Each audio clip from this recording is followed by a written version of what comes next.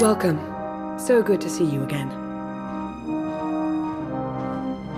As implied in our last brief communication, Darth Arkous is at the center of a grand conspiracy. Arkous had the Jedi Temple raided to acquire knowledge of Rakata technology that he could use to harm the Empire. Even now, he plots against us.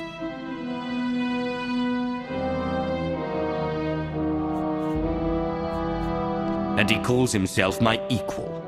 Darth Arkous tarnishes the entire Dark Council with his treachery. I know, Dark Lord, and for having played my part in serving him, I apologize. I followed Arkous to a secure undersea laboratory here on Manaan, where he's working with a Selkath geneticist on something. I've been trying to learn more. I've also discovered that Colonel Darok secured passage to the same laboratory. He was behind the Republic's raid on Korriban.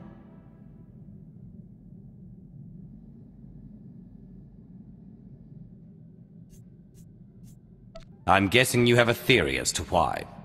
I have a hunch. Until we learn what's happening inside the genetics lab, I'd rather not jump to conclusions. As I said, it's a well-protected facility. You'll have to make your way through heavily armed Selkath and dismantle their security grid. You're not coming? I'd intended to confront Darth Arkous myself, but I sense a presence here. A potential ally. I'll remain in touch and let you know how my search progresses. May the Force be at your service.